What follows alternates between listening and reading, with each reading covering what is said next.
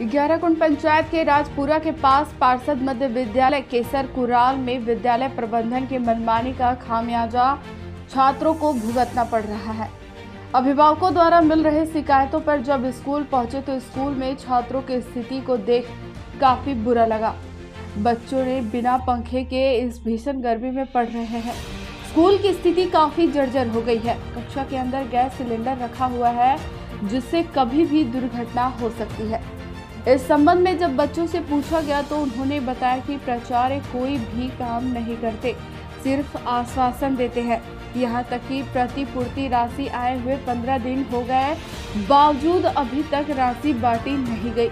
इस संबंध में जब प्राचार्य मदन प्रसाद से बात की गई तो उन्होंने कैमरे के सामने कुछ कहने से इनकार करते हुए कहा कि एक दो दिन में पंखा लगा दिया जाएगा तथा सोमवार को प्रतिपूर्ति राशि का वितरण कर दिया जाएगा।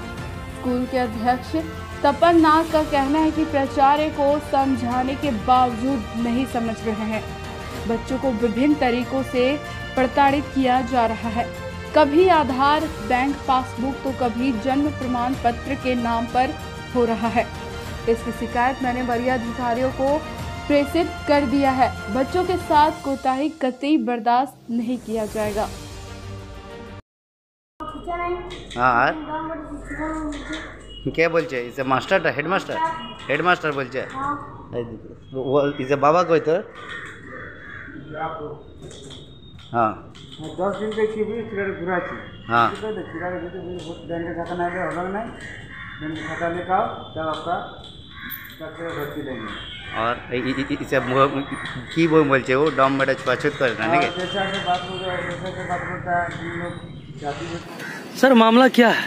मा, मामला है स्कूल का इसका बच्चों को प्रताड़ित करने का।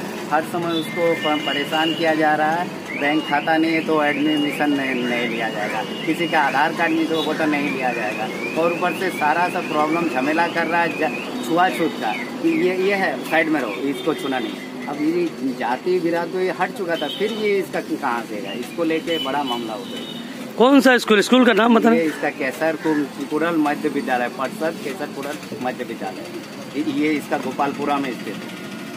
सर आपने इनकी लिखित कहाँ कहाँ तक शिकायत की अभी? इनके लिए लिखा है तो अभी इनका जो स्कूल का है हेड में दे दिए बीआरसी में। अब हम दे देने जाएँगे थाना में और एकदम धनबाद में दे देंगे।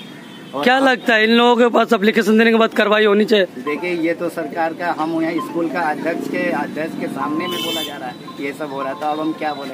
अब ऐसे होगा तो अध्यक्ष पद से ही हमको हटना ही- इससे असंभव लग रहा है। क्योंकि इसमें रहना ही बेकार है तो। सर आपका शुभ नाम? मेरा नाम इसका सपन कुमार नाथ क्या नाम हुआ छोटी तुम्हारा? कुमारी। क्या प्रॉब्लम है स्कूल में पढ़ने से? पंखा नहीं है पैसा नहीं मिला स्कूल में एक बार जब से भर्ती हुए हैं। सर लोग पैसा भी नहीं दे रहे स्कूल में भर्ती में सर पैसा नहीं मिला है पंखा नहीं लग रहा है सर गर्मी में हम लोग रह रहे हैं। क्या नाम हुआ तुम्हारा? विद्या विद्या स्कूल का नाम जानती हो? Yes sir. क्या नाम है स्कूल का?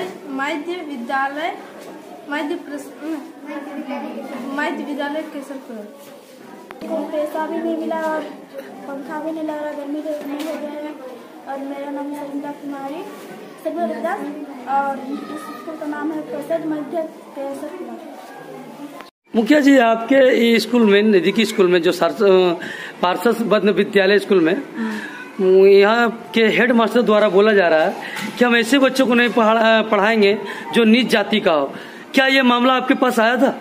नहीं आया था लेकिन अभी हम सुने हैं। अच्छा। एक बात बोले जाति विचार में हम तो नहीं रहते हैं छुआ छुआछूत अभी नहीं चल रहा।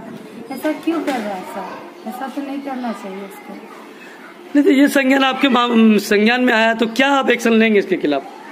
इसके बारे में हम एक्शन लेंगे इसके लिए लिखित करेंगे हम। आपका शुभ नाम? शुभ नाम सीता नागर